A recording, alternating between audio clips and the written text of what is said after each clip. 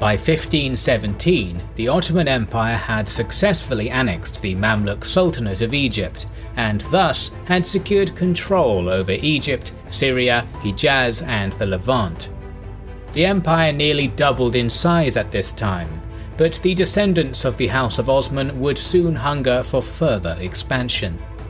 A number of events would make the Ottomans vie for naval dominance in the Mediterranean Sea.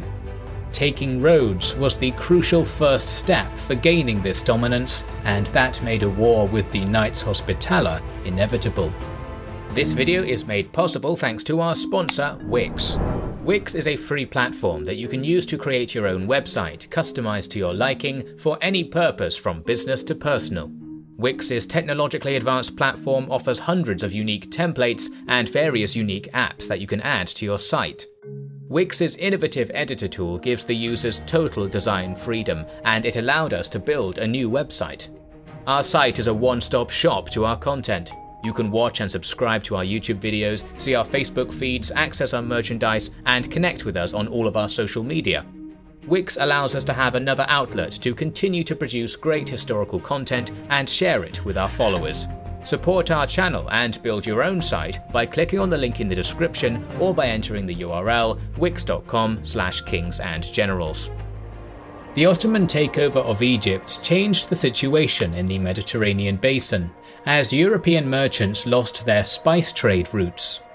It was also crucial in terms of Islam, as the last Abbasid Caliph, al-Mutawakkil III, was captured and forced to surrender the title to Selim I, which meant that the Ottoman sultans now claimed overall leadership over the Muslim world.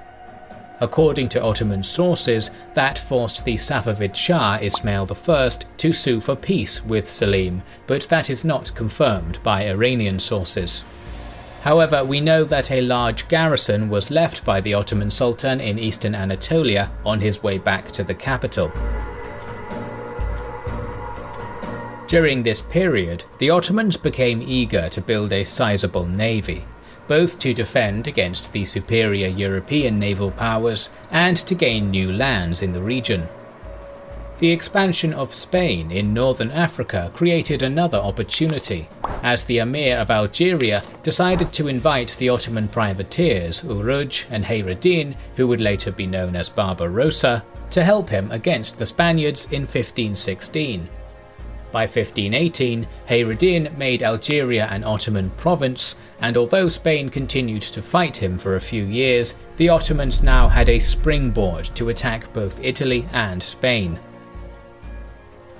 In 1520, Sultan Selim I passed away, succeeded by his son Suleiman, today known as Suleiman the Magnificent. The new sultan's desire was to gain more lands in Europe. As the Hungarian kingdom was going through a period of crisis, in 1521 Suleiman restarted the war against it. His goal was the most important fortress on the Danube, Belgrade. We have limited information on the siege, but it started on the 25th of June and it seems that there was a few hundred strong garrison defending. By the end of August, Belgrade was captured opening the heart of Europe to Ottoman conquest. At the same time, Suleiman continued his naval preparations. He wanted to conquer the island of Rhodes in order to strengthen his position in the Mediterranean. The owners of this island were the Knights of St. John, also known as the Hospitallers. They had been a thorn in the Ottoman side for more than a century, and a failed attack on them had already been made in 1480. To understand the Knights of St. John, we must go back a few centuries to their origin.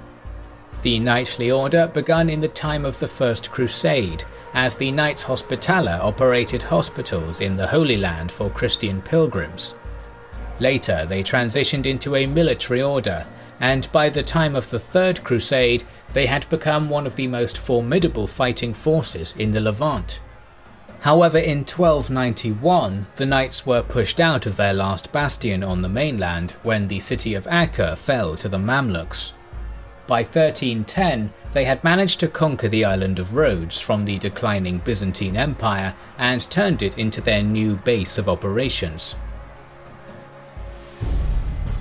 By 1521, the Knights of St. John had become notorious pirates, skilled seafarers that were the scourge of Ottoman merchant ships in the Mediterranean.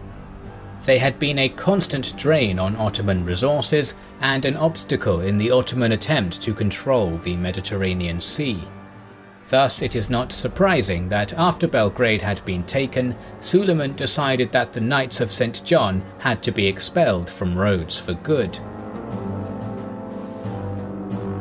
The fortress in the city of Rhodes was the most fortified bastion in Christendom, designed by the best Italian engineers money could hire. It was easily defendable from all sides, and protected in most areas by three rings of thick stone walls, with protruding bastions which defenders could use to harass attackers from multiple angles. The battlements were divided up into national segments, with bastions defended by the French, English, German, Auvergne, Provençal, Spanish and Portuguese chapters of the Knights of St. John. Taking a fortress such as that would require a massive cost, both in materials and human lives. Yet Suleiman remained adamant in his resolve. The Grand Master of the Knights, Villiers de l'Isle Adam, knew that a siege upon his fortress was soon to come. He sent messengers beseeching European leaders to come to the aid of Rhodes, but this bore no fruit. Part of the Venetian garrison on Cyprus joined the Hospitallers, but that was all the help they were getting. By June of 1522, the 400 ship strong Ottoman navy was ready to set sail. Led by the Sultan's brother in law, Mustafa Pasha, the massive navy sailed from its base in Gallipoli down to the island of Rhodes. The entire island was blockaded, isolating it from the world. On July 28th, the Ottoman army arrived upon the island, led by Sultan Suleiman himself. 100,000 strong, it was made up of labourers, engineers, infantrymen, and the Sultan's elite Janissary Corps.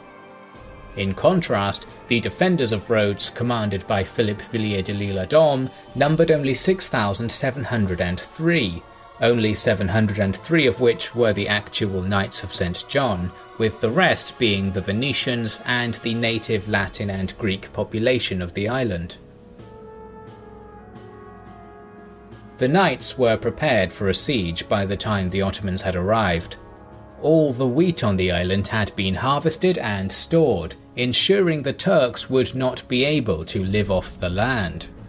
A giant iron chain had been lifted across the city's harbour mouth, ensuring no access into the city by sea. They were prepared to see this battle out. The Sultan had set himself up in a ceremonial tent outside of gunshot range, and only then did the siege officially begin. In early August, Ottoman artillery began to bombard the fortress walls.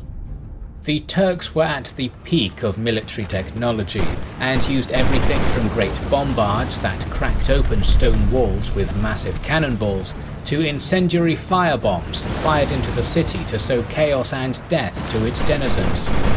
Despite this, the masterfully designed walls of the Christian fortress held firm. During the shelling, the Ottoman forces had dug in and had created a network of protective trenches and wooden palisades surrounding the fortress. In order to undermine the fortress's defences, the Ottoman generals set their sappers to dig their way under the walls and set explosive mines. These sappers were mainly Christians, recruited from the Ottoman Balkan territories, and had a treacherous job. They inched along yard by yard, digging trenches towards the city walls and protecting themselves with wooden planks and animal hides. Despite this, many sappers were killed by the defenders' precise gunfire. Many more were blown up, as the knights had set up an ingenious system by tying a sheet of animal membrane tightly between two wooden stakes with bells, so that any vibration below the earth would cause ringing. This would alert the defenders to sappers below, who would detonate any nearby countermines. The defenders managed to collapse over 50 Ottoman tunnels. They had also bored spiral-shaped vents into the walls of their fortress, so the mines that did detonate had their blast force vented out, and the structural damage reduced. Despite the best efforts of the defenders, on September 4th, two Ottoman mines beneath the English bastion detonated, collapsing an 11 metre long segment of the wall and filling in the moat beneath it. With an opening, Ottoman infantry charged into the bastion and managed to drive off the Rhodian defenders. They planted banners on the battlements to celebrate their victory, but were promptly driven off by a counterattack led by the English knights and the Grand Master L'Isle-Adam himself. Twice more the Ottomans attacked the breach, but each time the English knights, aided by their German brothers, held the line. Both sides took heavy casualties in this exchange. It is said that the Sultan's master gunner's legs were blown off by a Rhodian cannonball, while the knights had three major commanders killed. By late September, Ottoman morale had begun to decline. Yet on the 19th of that month, Ottoman spies managed to inform Suleiman that the Spanish and Provençal bastions were less protected than they originally thought, with no inner wall or protective ditch. With new resolve, the Sultan ordered a renewed full assault on these portions of the fortress walls. The Grand Vizier Mustafa Pasha led the attack. The bombardment took the knights by surprise, and the Ottoman forces managed to get over the walls of the Spanish bastion. A fierce melee ensued, with elite janissaries dueling disciplined knights. The Spanish bastion changed hands twice, but ultimately the Ottomans were repulsed from the walls. Furious at this failure, the Sultan demanded that Mustafa Pasha be executed, yet relented upon the pleading of his high-ranking officials to do otherwise. Nevertheless, Mustafa was shipped off to Egypt and replaced with Ahmed Pasha, an experienced military engineer. Back and forth fighting continued throughout the month of October, mostly around the collapsed wall of the English bastion. The knights and their Rhodian subjects managed to keep the Janissaries at bay, but each sortie would cost precious lives, lives that the highly outnumbered defenders could not afford to lose. By December, both the Ottomans and Rhodian defenders were thoroughly demoralized. The Ottomans had experienced a massive loss of life, and disease ran rampant through their ranks, killing many more. Meanwhile, the Knights and Rhodians had few living defenders remaining, and with no help on the way, they knew they could not hold out much longer. On December 11th, peace talks between the two sides began. Suleiman offered the citizens of Rhodes food and protection if they surrendered, but death and slavery if he had to take the city by force. Negotiations would soon derail when the Latin and Greek citizens pushed too hard for assurances from the Sultan, who ordered his men to resume bombarding the city once more. On December 17th, Ottoman forces once more overran the Spanish bastion and killed its defenders. This time it remained permanently in Ottoman hands. It was the end for the knights. There were simply not enough soldiers left to defend the city, and the walls had been all but reduced to rubble after months of constant shelling. A peace was made on the 20th, and the terms were fairly amicable.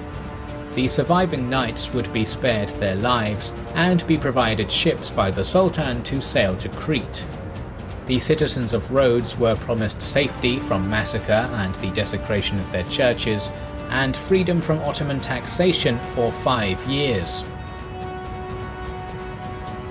The knights departed from their fortress with honour, wearing their full regalia and beating their drums.